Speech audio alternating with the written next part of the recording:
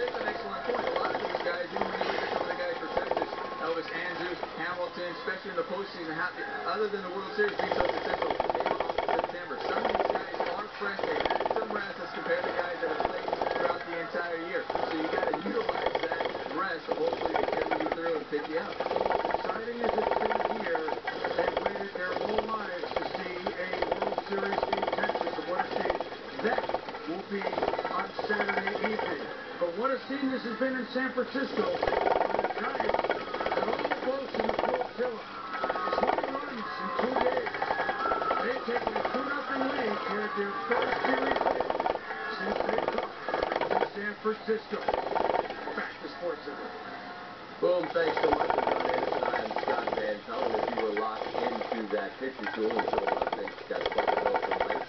An upset in college football tonight. The road has not been hospitable for ranked versus unranked, and I think there's some teams sitting at home watching tonight, Johnny, hoping that that trend does not continue this weekend. You know what those people that's in the way?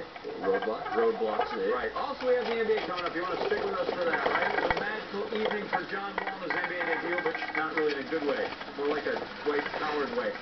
And then you have Brett Favre out of his walking boot, but, you know, one of our quarterbacks says he should stand down. Tarvaris Jackson's the right man to step in and take over for the Vikes at QB. Center, brought to you by KFC. Try KFC's new delicious chicken sandwich on a sweet Hawaiian bun. So good. And unstoppable. Tune in Saturday, October 30th for the commercial-free Sports Center. It will be unstoppable.